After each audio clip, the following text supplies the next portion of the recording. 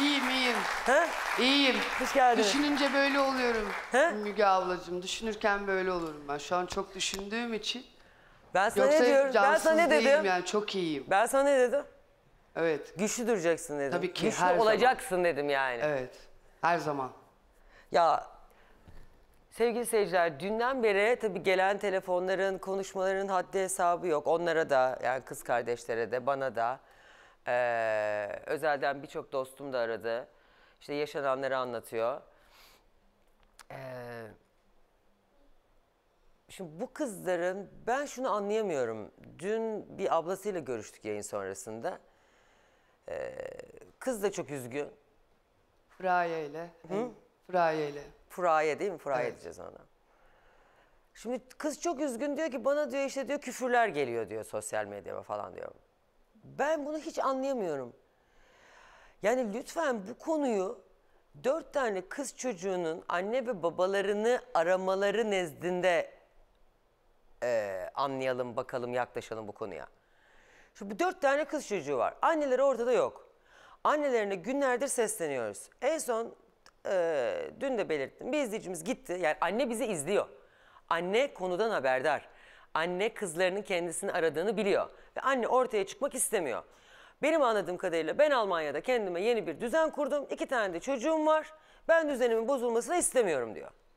Şimdi bu kızlar da diyorlar ki tamam anne sen hani öyle yapıyorsun. Ama bizim babalarımız kim? E şimdi e, kus- kusura bakmasın Supi öğrenci ya da baksın. Yani benim çok umurumda değil yani. Onların anneleri onlar daha duygusal yaklaşabilir ama benim öyle bir duygusal bağım yok ki Supi Hanım'a.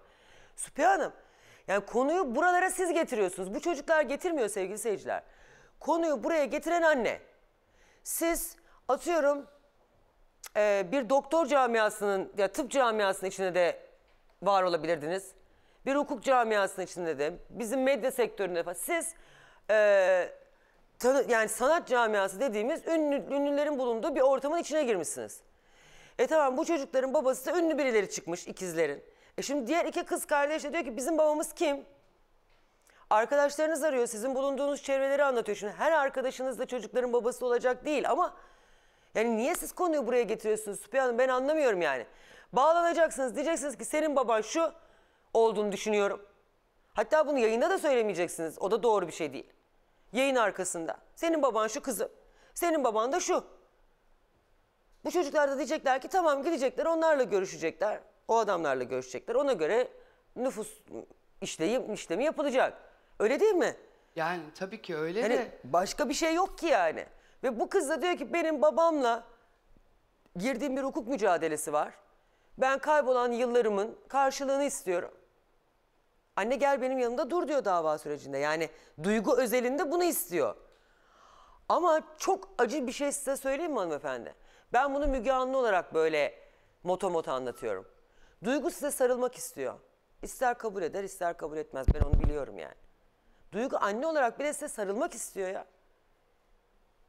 Ve siz hala şu anda televizyon başında binlerce kişi gibi oturuyorsunuz. Dış kapının dış mandalı gibi izliyorsunuz ya da daha sonra YouTube'dan izliyorsunuz. Neyse bilmiyorum yanımda yanımda kocam var şu an konuşmak iyi bir fikir değil dediğiniz için söylüyorum. Yani herkes gibi davranıyorsunuz. Tiyatro seyreder gibi. Bunu yapamazsınız hanımefendi. Bu kızın özellikle bu kızın özelinde size ihtiyacınız var. Mesela Furaye çok daha başka bir kafada. Furaye diyor ki ben kardeşim ben babamı falan da aramıyorum aslında diyor. Yani bu zamana kadar hayatıma girmemiş. Yeni bir yeni bir duygusal travma yaşamaya gücüm yok diyor aslında kız. Duygu çok savaşçı dizin dediğiniz gibi ya savaşçı bir gene sahip. Bütün aile için mücadele ediyor bir tarafıyla. Bu haksızlıkları karşı çıkmak istiyor. Çünkü burada anlatamadığım çok şey var. Duygu'nun da anlatamadığı çok şey var. Bu çocuklar yurtlarda neler yaşadı? Oturup anlatsalar çok başka olur her şey. Yani bu kızlara niye eee, birileri kötü söz söylüyor ben anlamıyorum. Kendinizi onların yerine koyun ya. Bana ne ya babam kimse kim ya? İster ünlü ister ünsüz ister zengin ister fakir. Bana sahip çıkacak. Çünkü o benim babam.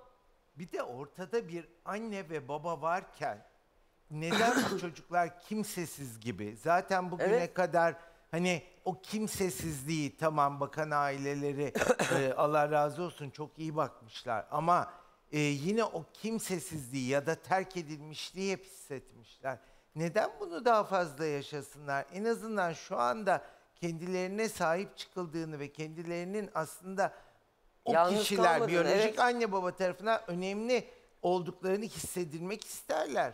Yani Bilmiyorum, senin adına konuşuyoruz ama yani Duygu- Yapısı bu. Teşekkür ederim. Yani yanlış mı konuşuyorum Hayır, bilmiyorum. Doğru konuşuyorsunuz, doğru konuşuyorsunuz Müge ablacığım. Yani e, ben annemin ortaya çıkmayacağını biliyordum. E, aramayacağını da biliyordum. Ben hiç öyle düşünmüyordum vallahi ya. Ben öyle düşünüyordum. Biz zaten annemin adresini de biliyorduk, telefon numarasını da biliyorduk. Yani gidip Almanya'da e, kendisiyle görüşebilirdik. Bu E, imkanlarımız Dilara vardı. şey diyor ben eğer Dilara değil mi eğer diyor Evet. e, vize alıp diyor Almanya'ya annemin kapısına gitmek istiyorum evet. diyor. Evet. Zaten böyle bir bizim planlarımız var. Biz Hayır, bunu mu yaşamak istiyor acaba anneniz? Yani hani bu üç kız toplansın sizi kapınıza mı dayasın? Yani bunu mu yaşamak istiyorsunuz? Ben sizi anlayamadım. Ben açıkçası bu çocukları niye böyle dünyaya getirdiğinizi de hala anlayamadım. Mutlaka vardır bir açıklamanız. muhakkak var. Vardır ama bu Kesinlikle açıklamayı var. duymak istiyoruz. Yani hepimiz duymak istiyoruz. Duygu adına da duymak istiyoruz. Duygu da duymak istiyor. Siz o zaman bu çocukları niye sürekli dünyaya getirdiniz hanımefendi? Ya niye doğuruyorsunuz? Tamam bak şu mektuptaki, nerede onları da almayın ya. Şu mektuptaki kadın başka bir kadın. Çok üzüldüğüm bir kadın ama şu andaki kadını ben tanıyamıyorum. Yani ne istiyorsunuz yani bu çocuklar şimdi vize de alınır. Niye alınmasın ki yani turistik vize alırız. Ya kapınıza mı gelsinler? Niye? Sonra kapınıza gelsinler siz gene bir isim atın ortaya. Sonra gelsinler burada yine mahkemelerde babalarını mı arasınlar?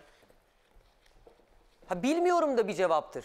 Bilmiyorum babanın kim olduğunu bilmiyorum Biliyor. kızım. Emin değilim. Bilmiyor diye bir şey yok Müge ablacığım. Emin misin bildiğine? Tabii ki. Tabii ki de biliyor. Bilmez olur mu?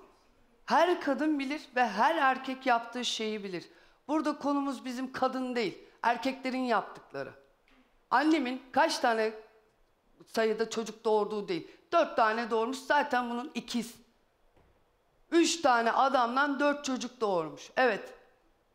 Olabilir. Bir tek benim annemin mi evlilik Olabilir. dışı çocukları var? Bir tek benim annemin mi altı tane çocuğu var? Yani bundan da iç linç yiyorum. Olabilir birçok benim beni büyüten ailem beş, beş kardeş, dört kardeş. Yani ben bu rakam... Hayatım 15 zaten tane de olur ama babasını söyleyecek. Diyecek, net bir şekilde evet, söyleyecek. Kesinlikle takılmamız gereken şey annemin geçmişinde olduğu yaşadıklar değil. Annemin neden sustu, neden söylemedi? Konu bu. Bilmez olur mu? Bu kadın gayet bilinçli. O mektupta... E siz peki bu kadar konuşurken yani ne cevap verdi anneniz size? Şimdi siz, bu mektupta Metin Akpınar'ı görünce gittiniz ve o gerçek çıktı. Ama hani sizinle bir konuşma süreci de var bu annenizin Evet, Almanya'dayken. Olmaz olur mu? Karşımda çok üzgün, yıkık, isyan etmiş bir kadın vardı. Hayata küsmüş bir kadın vardı geçmişinde.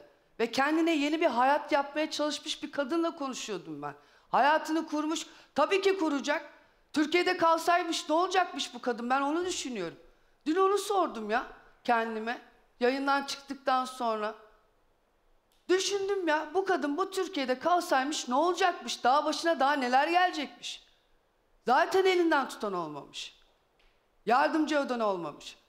Dünkü o bağlanan kadın özür diliyorum diye girdiği o konuda, attığı iftirada nasıl söylüyor bunu? Ben bu annem ortaya çıksın diye şey yapıyorum, konuşuyorum. Gerçekler ortaya çıksın diye konuşuyorum. Demek ki doğru yoldayım. Doğru yoldayım ve birileri benim buradan çıkmamı istiyor. Evet ben bugün buradan ayrılacağım. Çünkü benim kendi bir hayatım var. İki tane evimde bekleyen köpeğim, üç tane kedim var. Beni bekleyen bir ailem var. Ben hayatıma geri dönmek zorundayım.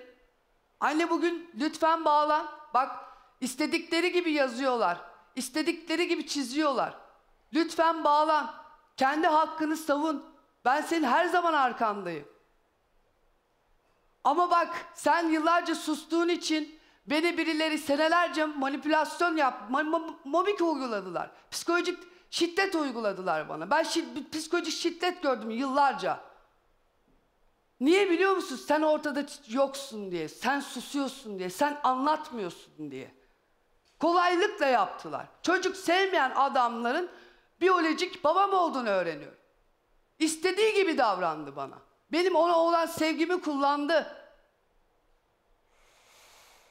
Lütfen bak. Burada bile olmasa bana bir gün çıkıp anlatacağını ben çok iyi biliyorum. Sen çıkma diye sana bunları yaptıklarını da çok iyi biliyorum. Belki arka telefondan neler neler şimdi yüklenip de belki arayacaklar. İnanmıyorum, inanmayacağım. Eğer birileri tarafından bu kadın zaten Ha, şu anda karşılığını annenin tehdit alsaydı, edildiğini mi Müge düşünüyorsun? ablacığım karşılığını alsaydı cebinde parası olurdu. Sokaktaki adamlar değil bunlar. Bunlar ünlü isimler. Karşımızda konuşan adamlar bunlar. Senelerce konuşan insanlar. Ya bir siz bir çıkın bir artık bir gidin ya. Arkamızda bizim nasıl güzel aydın bir gelecek var biliyor musunuz? Sadece ben bunu kendim için söylemiyorum. Bir sürü gencecik insanların sizler hala televizyon ekranlarında durduğunuz için bir sürü gençlerin siz geleceğiyle oynuyorsunuz. Bir çıkın artık. Bir gidin 40 senedir sizi izliyoruz. 40 senedir sizi dinliyoruz. Ne kadar yetenekli insanlar var. Siz biliyor musunuz? Hepsinin önünü kapatıyorsunuz. İstediğinizi yayın- yayınlıyorsunuz. İstediğiniz hakkında konuşuyorsunuz. Ama halk, o gencecik insanlar kendi hayatlarını yoluna koymak için, evlerin ortasına oturabilmek için o konum, yani hayatlarının evlerini kurabilmek için ne mücadele veriyor sokaktaki gençler? Bir çıkın artık ya. Sizin akıllarınız bitti. Sona geldiğimi de çok iyi biliyorum. Hepsini de anlatacağım. Ben sana inanır mıyım? Sen benim gözüme baksana. Eski patronunu öldürdü. Öldürdüğünü itiraf etti. Hasarlayarak öldürme suçlamasıyla hepsi birden cezaevine gönderildi. Oğlunu buldum.